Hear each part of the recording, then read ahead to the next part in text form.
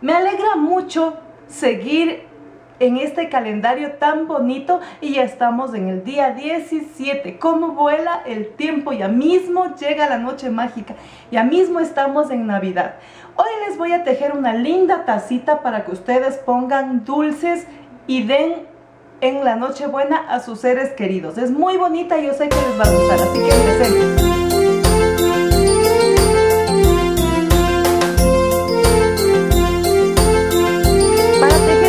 empecemos. taza voy a utilizar tres colores, rojo, blanco y verde. Sí, esta es lana jazmín. Voy a tejer con un crochet de número 3.5. Voy a utilizar tijeras, almidón casero y luego voy a envolver con papel celofán y tengo unos dulces preparados para colocarlos dentro de mi tacita.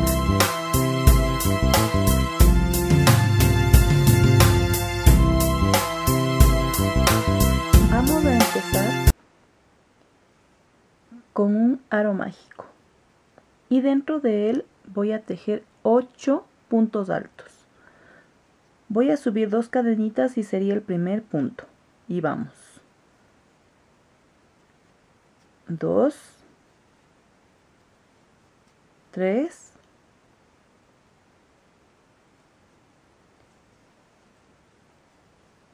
4 5 6, 7 y 8. Voy a cerrar el aro mágico.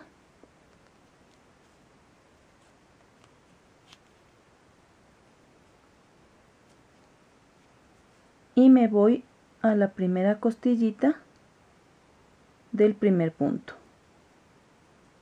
cerrando con punto deslizado y ahora subo dos cadenitas y voy a tejer ahí mismo un punto alto. Luego voy a tejer dos puntos altos sobre cada punto anterior terminando mi vuelta con 16 puntos altos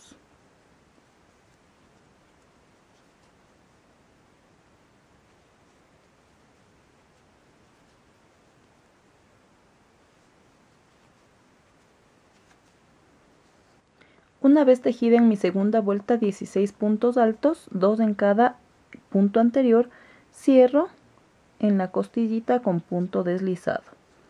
Ahora subo dos cadenitas y en el siguiente voy a tejer dos en el mismo espacio. Luego uno,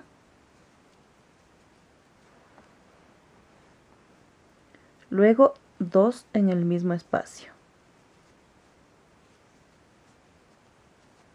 Luego uno y dos y así voy a ir alternando hasta que termine mi vuelta con uno y dos en el mismo espacio.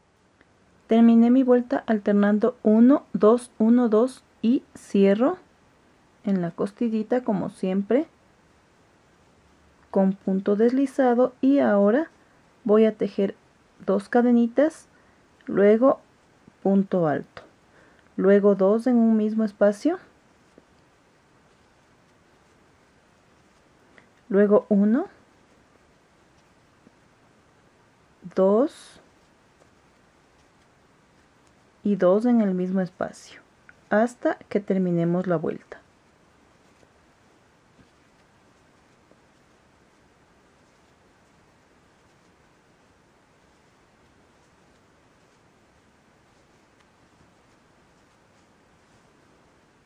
Ya tejí mi cuarta vuelta alternando dos puntos seguidos y dos en un solo espacio. Voy a la primera costillita y cierro con punto deslizado. Hasta ahí está la base de mi tacita. Ahora, voy a subir con dos cadenas que sería el primer punto. Luego voy a aumentar dos cadenas más que sería mi separación me salto un espacio y voy al siguiente tejiendo punto alto. Luego tejo un 2 me salto uno y voy al siguiente. Dejo dos cadenas me salto un espacio y voy al siguiente. Dos cadenas me salto el espacio y voy al siguiente y así voy a terminar mi vuelta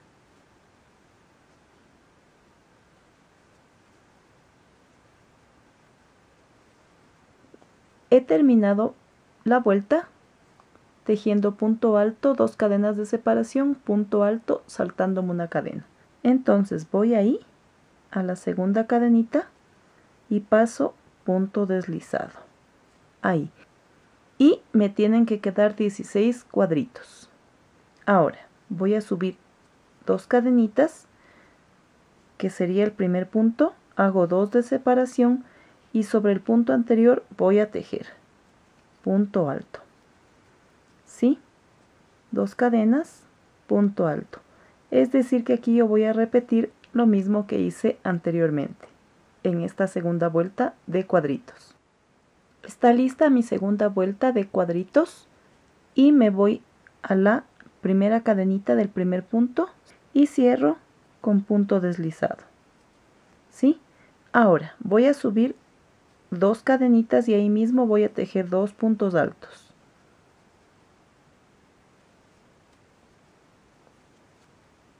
Voy a tejer dos cadenas me voy al punto siguiente y tejo punto deslizado. Tejo dos cadenas me voy al punto siguiente y tejo tres puntos altos. Uno dos 3 tejo dos cadenitas me voy al siguiente punto y tejo punto deslizado. Dos cadenitas voy al siguiente y hago tres puntos. 1 2 3 dos cadenitas me voy al siguiente con punto deslizado. Luego dos cadenitas y tres puntos ahí mismo y así termino esta vuelta.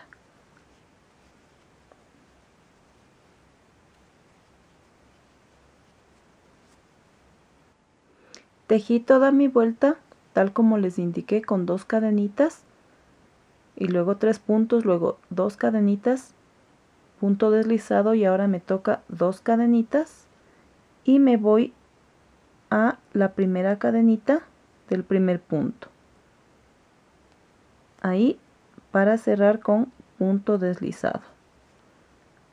Me voy a deslizar al punto del centro y voy a subir con dos cadenas y ahí mismo tejo dos puntos altos. Tejo tres cadenas.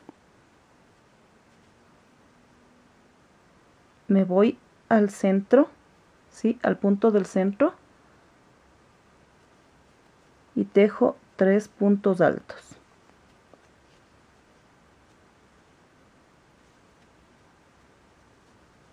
Tejo tres cadenas. Y me voy al siguiente punto alto que está en el medio. Y sobre él igual voy a tejer tres puntos altos tres cadenas y en el punto del medio tres puntos altos hasta que termine mi vuelta.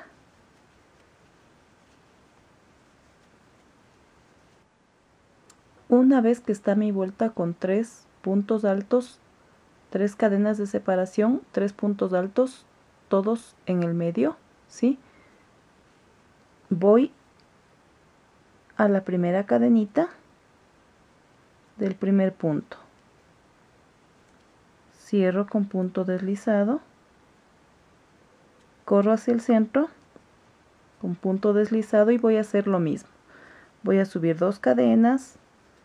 Dejo ahí mismo dos puntos más completando tres. Y luego tres cadenitas. Me voy al centro y tejo tres puntos altos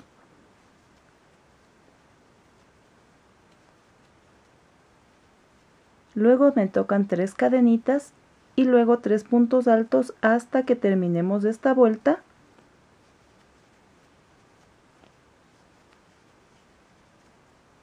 ¿sí? terminamos esta vuelta y hacemos una más igualita una vez terminadas mis tres vueltas con tres puntos altos sobre el punto medio anterior y tres cadenitas de separación. Voy a subir con una cadenita y tejo medio punto sobre cada punto anterior. Aquí serían tres medios puntos obviamente porque son tres puntos altos. Dentro de las cadenitas voy a tejer tres medios puntos porque obviamente también son tres cadenitas ¿sí? entonces voy a ir tejiendo todo el contorno de mi tacita con medio punto, ¿sí? Tres dentro de la cadenita y tres, uno sobre cada punto anterior. Terminemos la vuelta. Terminé mi vuelta con medio punto y me voy al primer medio punto para cerrar con punto deslizado. Ahora, voy a tejer 15 cadenitas. 1, 2, 3, 4, 5, 6, 7, 8, 9, 10, 11, 12, 13, 14 y 15.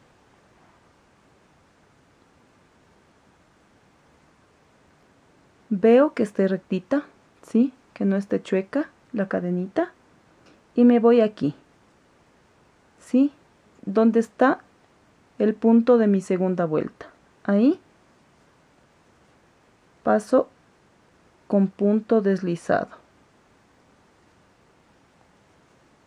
Luego voy a tejer dos cadenitas y me voy al siguiente espacio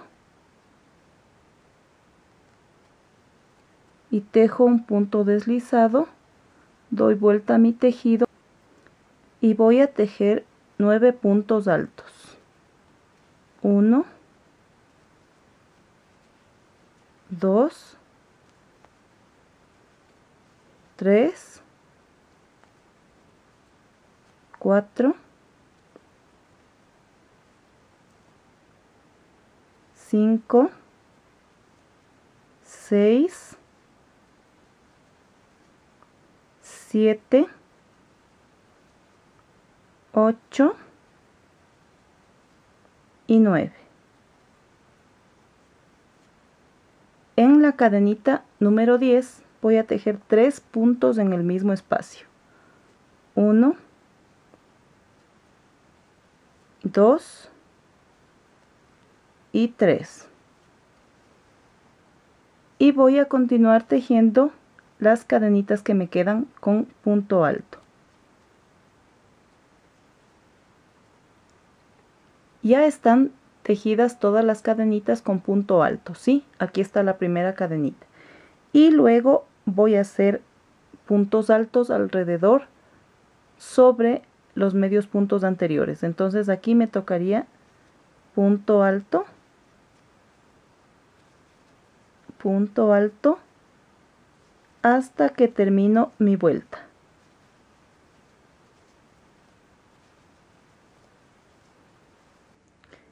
Bien, terminé toda la vuelta del borde de la taza con puntos altos. Ahora voy a pasar por encima de la orejita y me voy aquí al primer punto donde empieza mi vuelta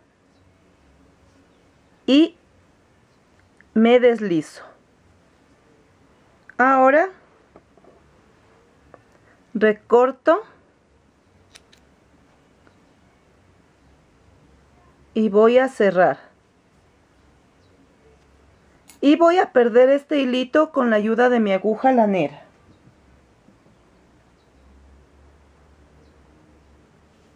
Me voy a ir por aquí.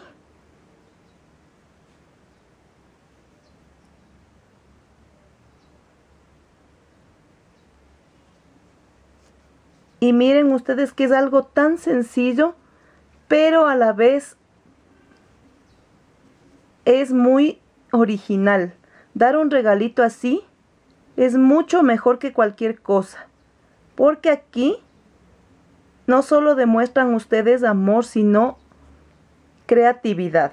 Eso es lo que marca la diferencia en cualquier ocasión. Porque estas tacitas, escogiendo el color que ustedes deseen, no solo pueden ser navideñas, pueden ser para el Día del Amor, para el Día de la Madre, para un cumpleaños. Aquí está la idea porque es Navidad, porque es temporada, pero ustedes pueden hacer para cualquier ocasión, ¿sí? Porque el regalo es muy original. Miren cómo está mi tacita. Ahí quedó medio bonita, pero como está medio gualinga, como decía mi abuelita, así toda, toda muy aguada, voy a almidonarle y ya les voy a enseñar cómo. Ahora voy a almidonar mis tacitas, siempre del lado del revés. Tengo, eh, ya me quedó poquito almidón porque almidoné obviamente mis otras dos tacitas, la de color blanco y la de color rojo. Pero igual, hay que remojar aquí, así. Así le vamos haciendo que todo quede bien ahí que todo quede impregnado así con el almidón. Yo siempre le pongo al revés con el fin de que no se note al otro lado ninguna mancha del almidón a pesar de que esto es transparente pero queda mejor si le hago al revés. ¿sí? entonces ahí ya me acabé todo el almidón, pero me alcanzó justo para mis tres tacitas. Está ahí bien. Ahora voy a dar vuelta. Los grumos se van quitando ya cuando esté seco. De eso no se preocupen porque no les va a quedar feo. Entonces voy dando yo la forma a la tacita y le voy a poner en una base. Yo siempre le pongo un plástico para que no manche nada. ¿Sí? Entonces ustedes le van a parar a la tacita y le van a poner a secar tratando de que sea en su ventana para que le llegue la mejor parte que puedan del sol. Y nos vemos ya cuando esté bien seca y bien durita. Miren amigas qué lindas me quedaron mis tacitas. Ahí está. Están almidonadas están bonitas y voy a poner caramelos para regalar a una familia muy especial para mí. Incluso las rojitas pueden utilizar para el Día del Amor, para el Día de la Madre, pueden utilizar en otros colores y dar incluso cuando sea cumpleaños. Yo les dejo la idea y ustedes miren cómo la pueden utilizar. Voy a poner caramelitos y les muestro cómo queda para que ustedes entreguen ya el regalito. Miren amigas, ya le puse los caramelitos, le puse un celofán, su tarjetita y ahí está lista para ser entregada. Hagan ustedes también que esto es un hermoso regalo para dar en esta Navidad. ¿Qué les pareció amigas?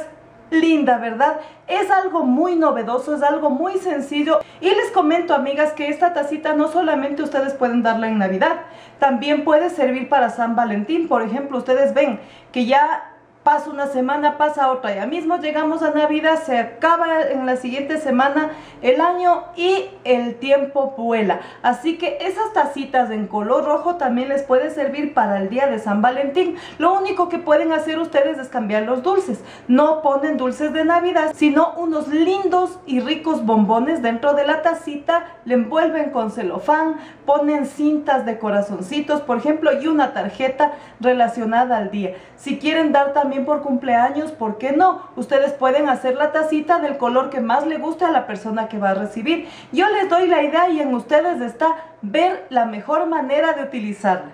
Ya ven amigas que aquí también se aprende no solamente cosas para Navidad, sino para un futuro y ustedes le cambian solamente la fecha, ¿sí? Si les gustó este video, denle un dedito arriba. No se olviden de seguirse suscribiendo a mi canal, activen la campanita para que sepan cuando yo subo un nuevo tutorial, para que no se lo pierdan, ¿sí? Dios mediante mañana les tengo algo muy bonito, así que no se desconecten a mí. Nos vemos entonces mañana.